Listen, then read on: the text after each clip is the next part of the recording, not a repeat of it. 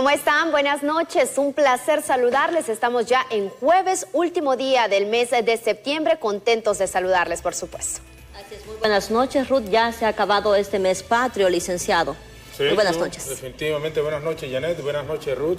Nos acercamos, eh, por supuesto. Bueno, primero, el feriado que comienza a partir del ya de mañana prácticamente, hay gente que se va el viernes. Sí, el empleado público sobre todo que tenía sueldo. fundamentalmente. Luego la empresa privada tiene que esperar un poco más, eh, elecciones en noviembre y la celebración de Navidad y Año Nuevo. Un, año que realmente con bastantes actividades, atípico, en todos los sentidos, ¿verdad? Totalmente. Vamos a elevar una oración a nuestro Dios, licenciado. Acompáñenos inclinando su rostro. Padre Celestial, este jueves venimos delante de tu presencia, te agradecemos porque nos has acompañado en un mes de septiembre agradable, Jesús, porque pese a todas las circunstancias, pese a lo difícil, que hemos tenido que atravesar como medio de comunicación y como empresa. Tu misericordia, tu mano de amor no nos ha dejado, tu paz nos ha alcanzado. Jesús, sabemos que es un mes patrio que nos ha dejado una gran pérdida que nos ha enlutado, pero que también nos ha enseñado muchísimas cosas. Entre tanto Jesús que ha pasado, sabemos que hemos visto tu mano todopoderosa, tu misericordia sobre nuestras vidas ha estado presente.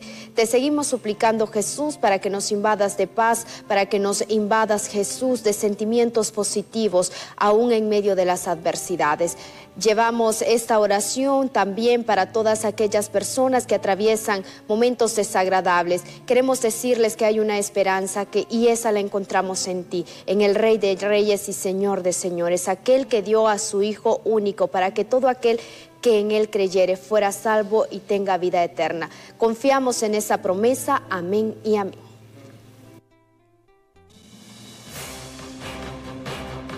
Dejan plantado a consejero presidente del Consejo Nacional Electoral en conferencia de prensa convocada, según analistas políticos, por supuesta lucha de poderes.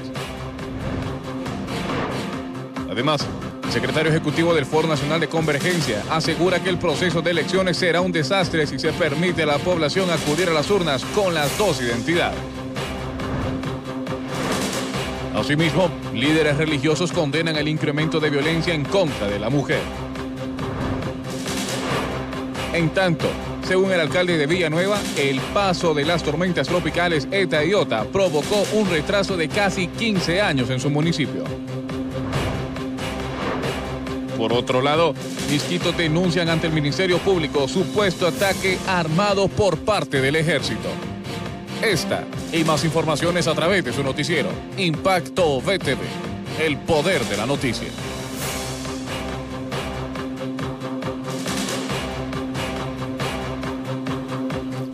La Unión Nacional Opositora denuncia ante la Organización de los Estados Americanos que se está, según ellos, montando un fraude electoral contra esta alianza, así como también otras acciones que buscan confundir a la población al momento de votar el 28 de noviembre.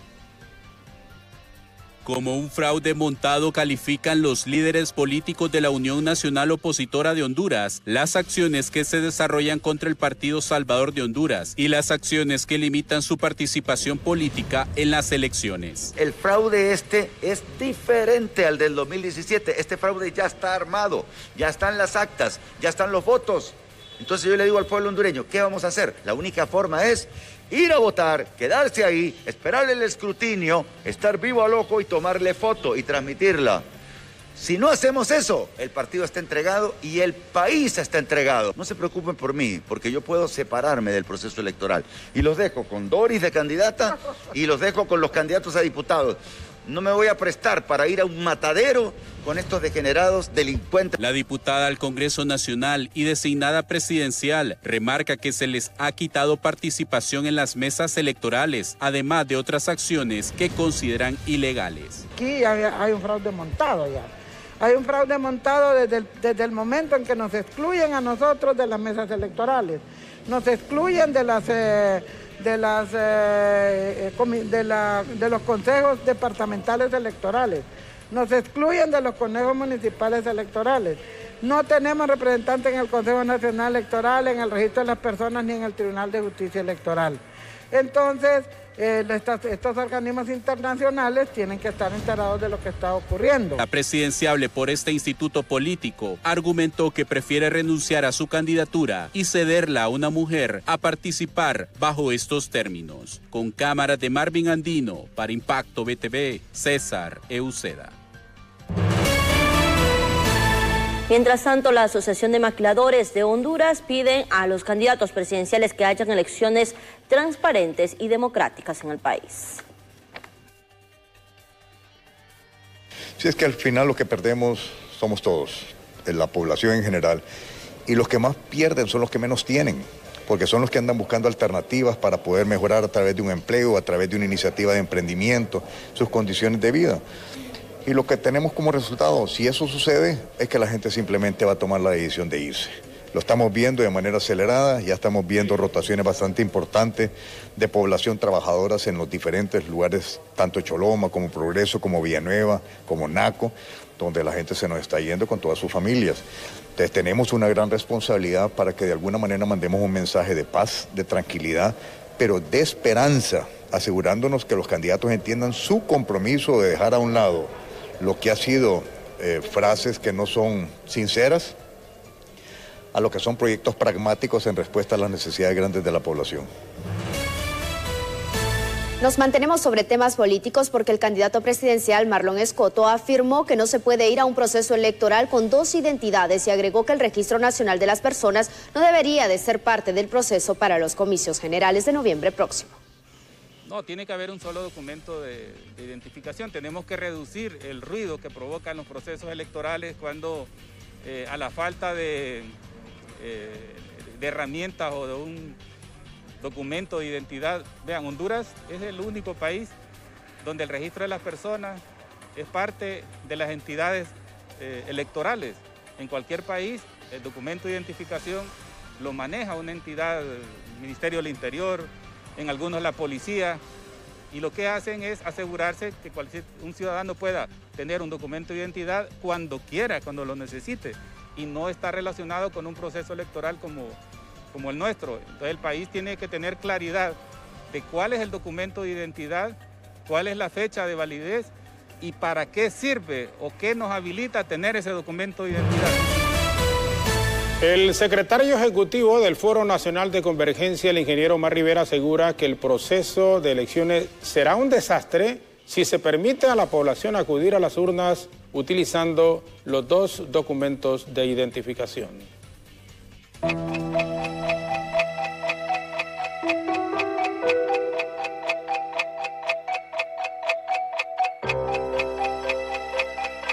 El secretario ejecutivo del Foro Nacional de Convergencia, Omar Rivera, aseguró que el gobierno estaría cometiendo un grave error si aumenta la vigencia de la tarjeta de identidad actual, lo que podría provocar una seria falta de transparencia en las próximas elecciones generales de noviembre, reduciendo la credibilidad de las autoridades que se elijan para los próximos cuatro años de gobierno. Se ha invertido mucho dinero, hay mucho esfuerzo aquí y no podemos a última hora ir eh, a un proceso electoral con dos identidades. Ir a un proceso electoral con dos tarjetas de identidad es inyectar desconfianza en los comicios. Y le repito, eso en nada abona la credibilidad y la confianza de los próximos comicios. Sumado al casi millón de personas que aún no reclaman su documento nacional de identidad, los partidos políticos emergentes también tienen sus dudas sobre la emisión de resultados, por lo que esperan que el Consejo Nacional Electoral sea transparente con la licitación que actualmente ganó una empresa argentina dedicada a este tipo de proyectos electorales. Bueno, lo que esperamos es que esta empresa tenga experiencia en, manejar este tipo de procesos que determinan el curso de, un país. Y lo más importante de lo que la gente espera es que los resultados que se den en las mesas electorales sean los que realmente se, ya se computen en, o se totalicen pues eh, cuando estén haciendo ya el conteo en, el Infop, en el famoso Infop. Pero no tenemos ninguna información, sé que es una empresa argentina, pero no sé qué experiencia tiene, no sabemos cuál es el proceso, un proceso completamente tardío, a destiempo, y las cosas que se hacen a la carrera normalmente no, no, tienen, no tienen funcionalidad. La empresa Magic Software Argentina fue contratada este martes para que maneje el sistema de transmisión de resultados electorales preliminares TREP de las elecciones generales que se celebrarán en Honduras el 28 de noviembre, informó una fuente del Consejo Nacional Electoral. El contrato fue aprobado por mayoría entre los tres consejeros que dirigen el CNE y será pieza clave para el futuro político del país. Con imágenes de Darwin González para Impacto BTV les informó Samuel Cuello. Y luego de la confiscación de más de 2.700 escáneres utilizados para las elecciones del 2017 por denuncias de un presunto fraude, sectores de la sociedad aseguran que esto representa una preocupación e interrogante del por qué hasta ahora se investiga este caso. La Agencia Técnica de Investigación Criminal y el Ministerio Público intervinieron este día la bodega de Mapa Soluciones, quienes presuntamente recibieron más de 41 millones de lempiras destinados a las elecciones del 2017 para compra de equipos. Por tercer día consecutivo, una inspección de campo, levantamiento de indicios en la bodega de la empresa Mapa Soluciones. Y es que se sigue una investigación por una denuncia de oficio en la que se indaga sobre una posible sobrevaloración en la compra de 2.711 escáneres que fueron utilizados para el escrutinio de papeletas electorales en el proceso y en los comicios generales de noviembre de 2017. Ante estas investigaciones, sectores de la sociedad cuestionan el porqué de la tardanza en estos procesos, ya que desde el 2017 se vienen denunciando estas irregularidades. Importante que reconocer que el trabajo que se puede hacer desde, en este contexto electoral, si tenemos fiscales eh, dignos, honestos y que hagan un buen trabajo, entonces les vamos a acompañar. Sin embargo, nos llama a la, preocupación, ¿no? Eh, ¿Por qué en este momento empiezan a hacer señalamientos en lo que está pasando con el tipo de los escáneres y este asunto? Es que qué bueno que se investigue. Si hubo corrupción, que se investigue, que se castigue.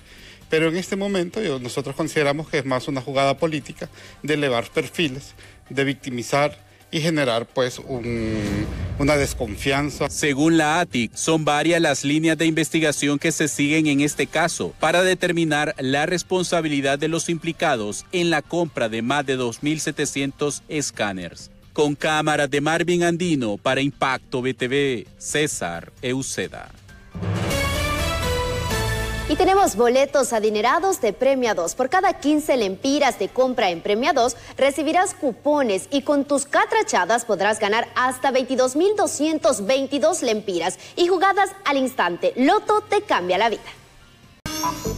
Este día el Consejo Nacional Electoral canceló una conferencia de prensa que tenía como propósito informar sobre la empresa encargada de la transmisión de resultados electorales preliminares.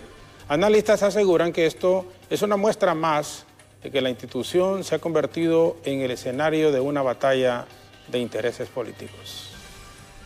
Continúa la incertidumbre en el proceso electoral.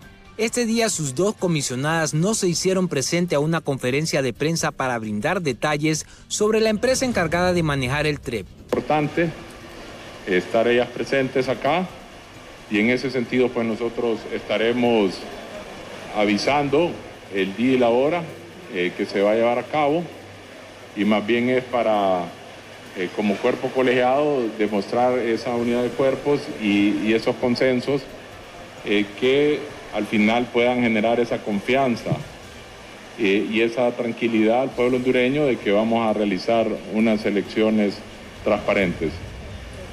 Analistas aseguran que esta institución se ha convertido en el campo de batalla de tres partidos políticos que solo velan por sus intereses. Primer lugar, decir que es lamentable, desde las organizaciones de sociedad civil, movimientos sociales, vemos con mucha preocupación que eh, el órgano encargado de gestionar, administrar y arbitrar el proceso de elecciones generales del país se haya convertido en un campo más de disputa de partidos políticos. Esto eh, lastimosamente se salió de las manos. Los partidos políticos más eh, longevos, y tradicionales del país han tomado el, Consejo Nacional Electoral como una cancha de disputa donde lo que prevalece es el conflicto, donde lo que prevalece son intereses de partido y no precisamente el interés de sacar adelante el proceso electoral. El suspenso continúa a pocos días de las elecciones por falta de consenso entre los representantes del Partido Nacional, Partido Liberal y el Partido Libertad y Refundación, por lo que algunos sectores se lo responsabilizan directamente si no se tiene un proceso electoral ordenado y transparente. Con imágenes de Ángel Maradiaga, informó para Impacto BTV el Poder de la Noticia, Isaac Sandoval. Y candidato por el Partido Nacional, Nasri Afura, presentó sus propuestas de gobierno en la zona norte, asegurando que las represas son prioridad para la protección y la economía del Valle de Sula. No solamente se necesitan la represa del Tablón, Jicatuyo, no solo esas represas, sino que necesitamos también poder trabajar qué vamos a hacer por el Valle de Sula en otras, otros canales más. Hoy hay una empresa que se llama Lombardi, eh, que le hemos pedido un estudio del Valle de Sula para poder que sea complementario con el tema de las represas. Y esto se trata de poder tener nuestros ríos dragados, nuestros canales dragados, los nuevos canales que se puedan hacer, que pueden ser aproximadamente cinco canales más, hacer un doble bordo al bordo ya adicional que hay para poder darle seguridad a las personas primero, a la vida y después a la inversión y a la propiedad en la zona del Valle de Sula tan productiva que es.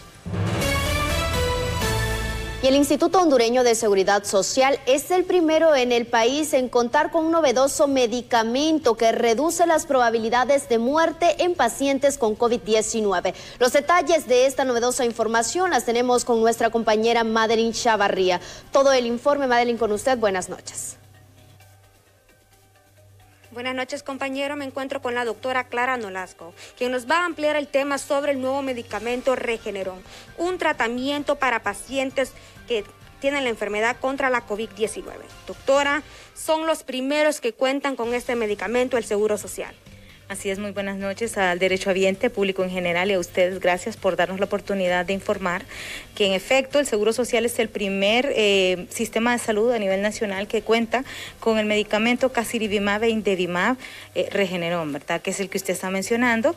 Em, gracias a Dios lo tenemos en, en, los hospitales propios del Seguro Social, tanto en Tegucigalpa como en San Pedro Sula, el Hospital Regional del Norte.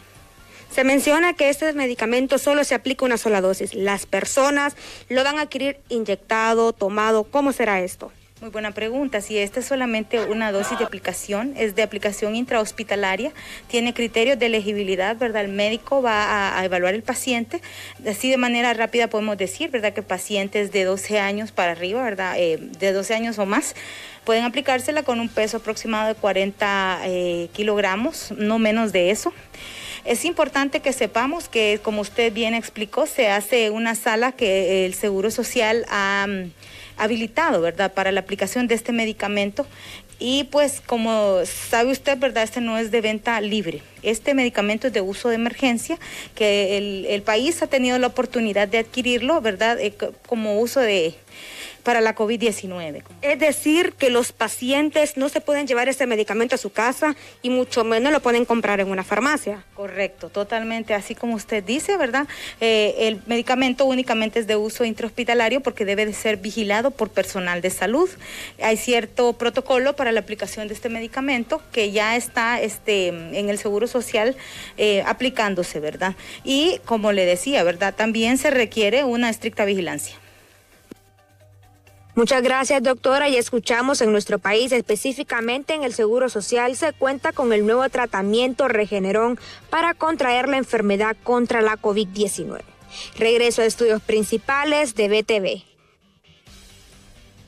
Otros temas, el presidente de la Asociación Nacional de Enfermeras y Enfermeros Auxiliares está denunciando que existe una mala intención en la gestión que realiza eh, servicio civil contra más de 500 de sus agremiados al aplicarles evaluaciones que no competen a sus funciones, por lo que resultan la mayoría de las veces aplazados.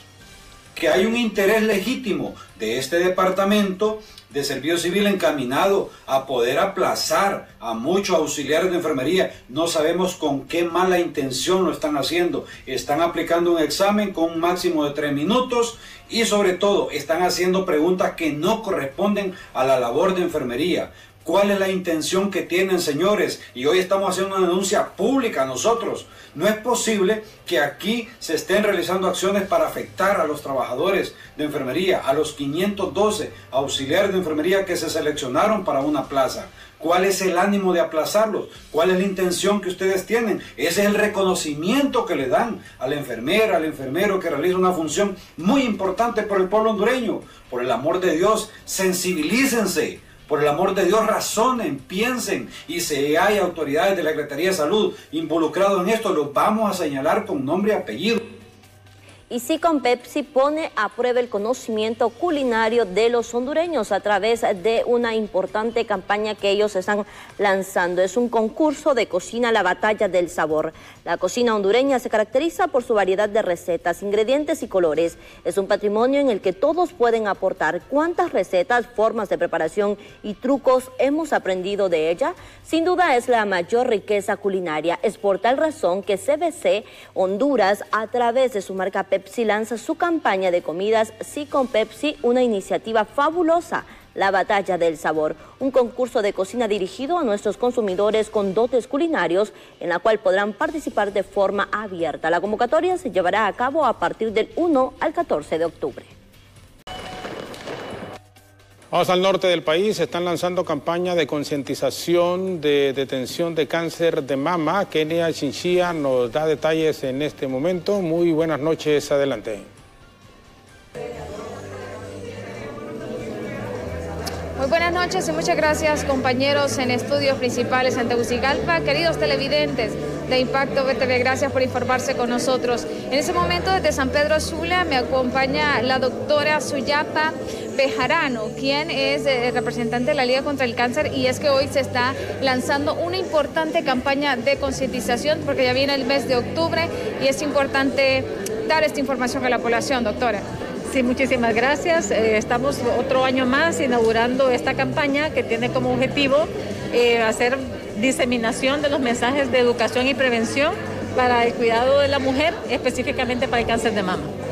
Ven como diferentes dos años que la pandemia pues ha tenido todo... Eh, el sistema de salud enfocado en eso y se ha descuidado otras enfermedades como el cáncer. Definitivamente, de hecho nosotros como institución participamos en la publicación de un documento latinoamericano donde demostramos eh, sobre todo la prevención, que hubo países eh, como Honduras y otros países que hubo un 100% de reducción en todas las actividades de lo que es la detección temprana y prevención, por el distanciamiento social, porque la paciente se enfermó, etcétera. Y el año 2019 fue fatal, ¿verdad? Fatal, porque los pacientes no pudieron acudir a sus centros de salud. Doctora, este, se estarán realizando actividades eh, de concientización, esto para el mes de octubre, que es donde se celebra el mes de la lucha. Sí, nosotros todo el año tenemos actividades de promoción y prevención, salimos a las comunidades y con las instituciones y antes con las escuelas para llevar este mensaje no solo a las mujeres, sino que también al público en general, porque la salud está en toda la casa, no solamente en las mujeres o en los varones, sino que empieza desde los niños hasta los ancianos. Afortunadamente en este mes de octubre hay como mayor apertura de las instituciones de participar en las actividades y eso pues nos hace más fácil que nosotros podamos llevar el mensaje. Para finalizar, doctora, siempre el mensaje, sobre todo para las mujeres en la prevención. Bueno, el cuidado empieza por mí. Tengo que comenzar a identificarme como mujer de, riesgo, hacerme mi mamografía si tengo más de 40 años y el autoexamen todos los meses después de los 20 años. Muchísimas gracias a la doctora Suyapa Bajerano, quien nos brinda declaraciones acerca de esta campaña de concientización que se está realizando en San Pedro Sula. Esto ya lo mencionaba para la prevención y la lucha contra el cáncer de mama. Desde la ciudad de San Pedro Sula vamos a retornar a los estudios principales en Tegucigalpa.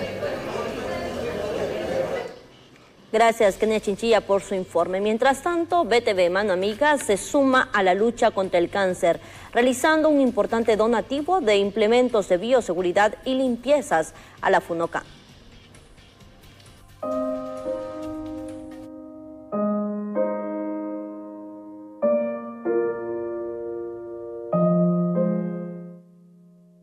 La Fundación Hondureña contra el Cáncer de Mama es una noble institución que se encarga de la detección temprana y tratamiento gratuito para las mujeres que padecen de esta enfermedad. Es por ello que BTV Mano Amiga se suma a esta lucha, realizando un donativo de implementos de bioseguridad y limpieza para prevenir el COVID-19 entre las pacientes e invita a otras empresas para que apoyen a Funocan. Creo que estamos obligados, las fundaciones, las instituciones del gobierno como tal, de apoyar eh, en este caso y hemos, modestamente nos hemos hecho presentes con, con este donativo de BTV Mano Amiga para Fonocam y ojalá que esto es una invitación también para otras instituciones que puedan colaborar la presidenta manifestó su agradecimiento con BTV y destacó la importancia que tiene para la fundación este tipo de donativos, que son de mucho beneficio para las pacientes. Bueno, muchas gracias. Primero también quiero darle gracias por este gran donativo de la Fundación Mano Amiga de BTV Canal 9. Muchas gracias por, por, dar, por brindarnos este apoyo. Y quiero decirle, Funocam es una fundación eh, sin fines de lucro, una fundación que se dedica a dar el mensaje de la prevención y detención del cáncer de mama.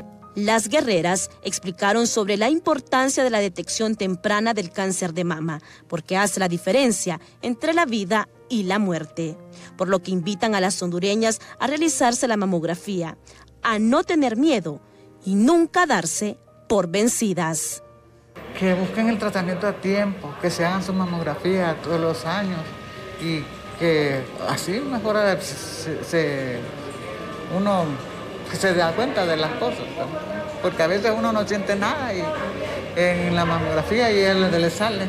Soy una guerrera, pues que Dios aquí me tiene todavía con fuerza, con ánimo para eh, seguir adelante y darle fuerza a las demás mujeres, ¿verdad? Que sigan adelante, que no se queden atrás, que sigamos y sigamos adelante, ¿verdad? Y eh, esta enfermedad pues no los tiene que vencer. Funocan ha brindado tratamiento gratuito a más de 41 mil hondureñas y realiza un aproximado de 45 atenciones médicas y psicológicas diarias pese a la pandemia, ya que existe un 98% de probabilidad de superar el cáncer de mama si es detectado a tiempo. Y BTV Mano Amiga se solidariza con esta misión. Con imágenes de Brian Casanova, informó Merari Borjas. Por otro lado, el director de la organización Cristocéntrica en favor de la niñez, Francisco Campos, afirma que los mayores retos que tienen actualmente es la cantidad de menores que necesitan ser cuidados y protegidos. Sin embargo, no cuentan con los insumos necesarios. Estamos apoyando a DINAF en el desarrollo y la implementación del protocolo de familias de protección temporal. Básicamente estamos comenzando con esta medida de protección y lo que hoy estamos, el evento que hoy estamos teniendo es para mostrar los avances y también una invitación para que sociedad civil, para que toda la población, iglesias se puedan unir a esta medida. Necesitamos más familias para proteger niños. Los mayores retos realmente es la cantidad de niños que se encuentran dentro del sistema de protección.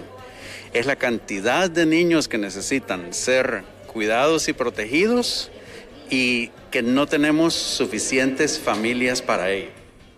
Tras el incremento de hechos violentos en contra de las mujeres a nivel nacional, los líderes religiosos son de la idea que no es bueno aparecer en las redes sociales alimentando el instinto impulsivo de los delincuentes que ahora con su tecnología las pueden rastrear con facilidad o engañarlas para luego lastimarlas.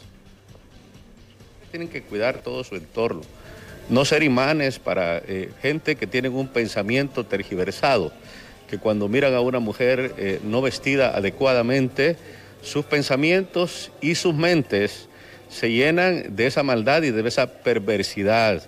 Lamentamos profundamente cómo en nuestro país el tema del femicidio ha cobrado tanta relevancia y lo que se está haciendo por ellas es muy poco. Siempre miramos cómo se recogen las mujeres de diferentes lugares donde han sido víctimas, pero pocas veces encontramos que el victimario ha sido juzgado. Pero necesitamos en medio de la pandemia, en medio de las situaciones difíciles que están ocurriendo, que haya paz. Y esa va a suceder cuando nosotros tengamos una actitud de paz y respetemos los derechos de todos, especialmente de las mujeres que tienen un valor muy especial ante los ojos de Dios. Y según la Organización de Jóvenes contra la Violencia, la falta de oportunidades y el fortalecimiento de la familia en el país está orillando a la juventud a ser reclutada por estructuras criminales que lamentablemente están ganando terreno en barrios y colonias y con esto la inseguridad cada día va más en aumento. Eh, recordemos que uno de los principales factores de riesgo para ser víctima de la violencia en Honduras es, es el joven añadido de la falta de oportunidades que tenemos en, las comunidades, eh, los jóvenes pues buscan opciones o se les presentan opciones en, sus barrios un poco más viables que lo que la sociedad eh, está presentando. Recordemos las altas tasas de, de desempleo que tenemos en nuestro país y bueno, para para todos es conocido pues la presencia de maras y pandillas en los barrios y colonias de nuestro país y que las principales eh, poblaciones que reclutan esas jóvenes y, adolescentes. Esto trae como, como producto pues una violencia dirigida hacia, hacia la juventud prácticamente. Y hasta el Ministerio Público llegaron este día pobladores de la Mosquitia para interponer una denuncia en contra de las Fuerzas Armadas por ser, según ellos, los responsables del ataque armado ocurrido el pasado 16 de septiembre. Según representantes, el hecho, en el hecho se dieron varios fallecidos. Hablamos exactamente de por lo menos cuatro misquitos y 12 heridos.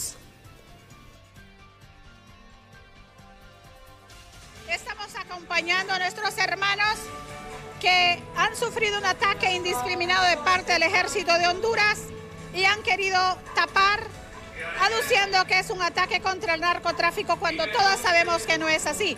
Aquí están las viudas, los heridos, son 12 los heridos, son 4 muertos hasta el momento. ¿Dónde se registraron estos hechos? En la comunidad de Ivans, municipio Juan Francisco Bulnes, en La Mosquitia.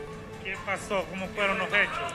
No sabemos, una tarde que están los pescadores en la playa, llegó un comando del ejército, un helicóptero siguiendo una lancha. La lancha traía eh, drones vacíos, no había droga como ellos han querido decir.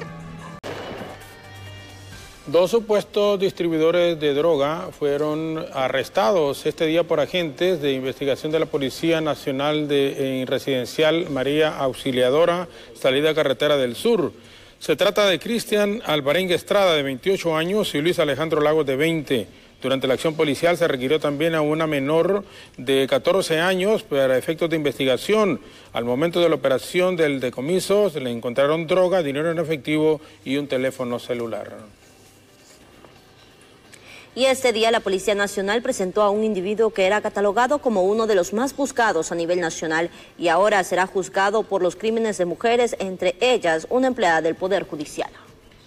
Nos marchamos, ya hemos llegado al final del informativo Ruth Muñoz. Fue un placer, les esperamos mañana en nuestras nuevas emisiones. Buenas noches. Novela. Ah, se nos olvidaba, Amor Eterno.